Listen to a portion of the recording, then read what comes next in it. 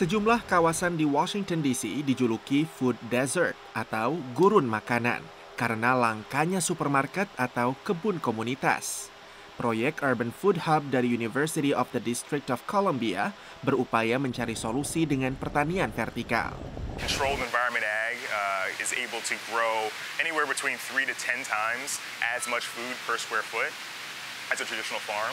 Uh, we're also growing in a controlled environment climatically, so we don't have nearly as much of the pest pressure, which mitigates needing to spray pesticides and herbicides as well. So there's no nutrient runoff, there's no chemical runoff from sites like this. Produk nabati yang dihasilkan disumbangkan ke sejumlah lembaga sosial dan bank makanan setempat. Artinya, juga mengurangi dampak lingkungan dan bahan bakar transportasi dan limbah makanan. On average in the US, the food miles can add up to anywhere from 1500 to 2000 that is uh, if you add all the mile that make up your plate of food it's just so much Para pakar menilai siapa pun bisa mulai bercocok tanam sendiri di rumah. Hanya perlu sinar matahari, sepetak ruangan, dan kesabaran. Bahkan, balkon apartemen kecil pun cukup.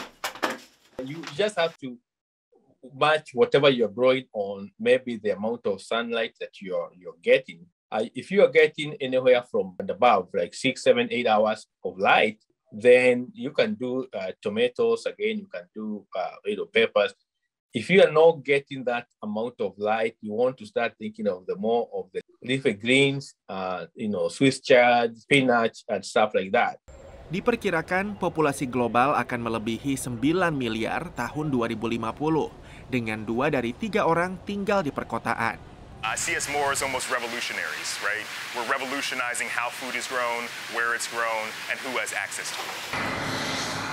Sektor pertanian menghasilkan 10% emisi rumah kaca di Amerika Serikat yang berkontribusi pada perubahan iklim. Salah satu masalah yang juga ingin diubah lewat budaya pertanian kota seperti ini.